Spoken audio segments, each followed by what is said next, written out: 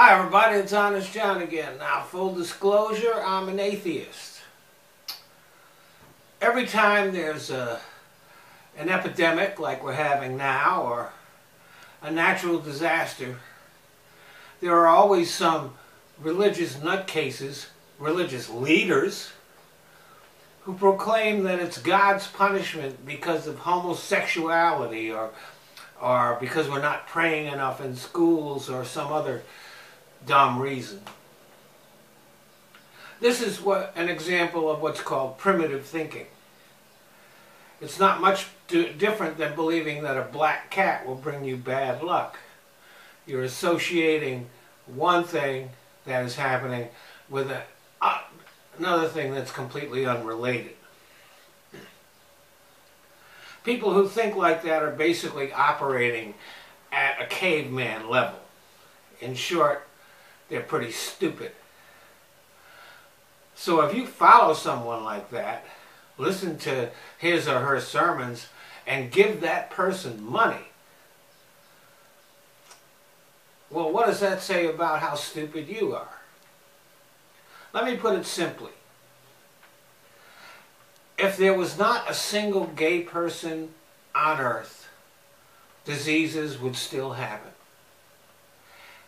And if everybody on earth could pray all day long, tornadoes and hurricanes and earthquakes would still happen.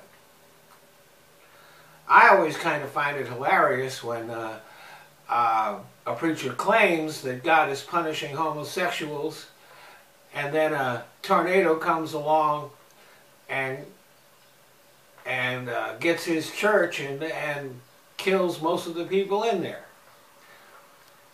You would think that uh, an almighty God would be able to hit what he's aiming at. And uh, maybe he did. Maybe he's punishing evangelicals for being such unredeemable assholes. But think about it. Collective punishment is the mark of a bad leader. When a teacher punishes a whole class because one or two kids are acting up, everybody knows that teacher is an asshole.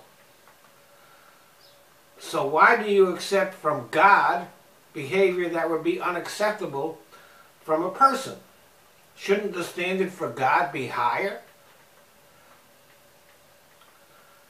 God is supposed to be all-knowing and all-powerful. Certainly he should be able to, to weigh, figure out to punish the people that he's actually mad at, not making the whole world sick because he's pissed off. That's a temper tantrum that's beyond all means. Now, I don't expect you to become an atheist like me. But if you're going to a church where a preacher is doing that, you should walk out.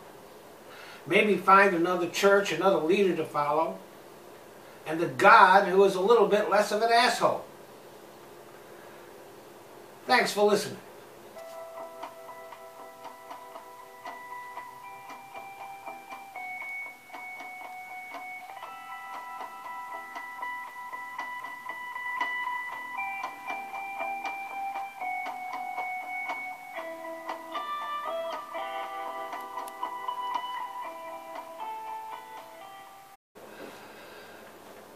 Hey, thanks for stopping by and watching my videos. I do appreciate it, and I appreciate your comments and your support. Uh, and I don't know where you're watching my videos. Could be on here on YouTube or on my blog or on Patreon. Uh, let me just say this. Uh, ever since Google took over YouTube, they've made some really bad decisions that have been very unfriendly to smaller channels like me. Uh, I've I had over 85,000 views of my videos on YouTube and yet they still won't let me monetize my videos. So if you want to support me, Patreon is the place. But wherever you watch, uh, YouTube, Google, uh, Patreon, my blog, I appreciate your comments and, and your support.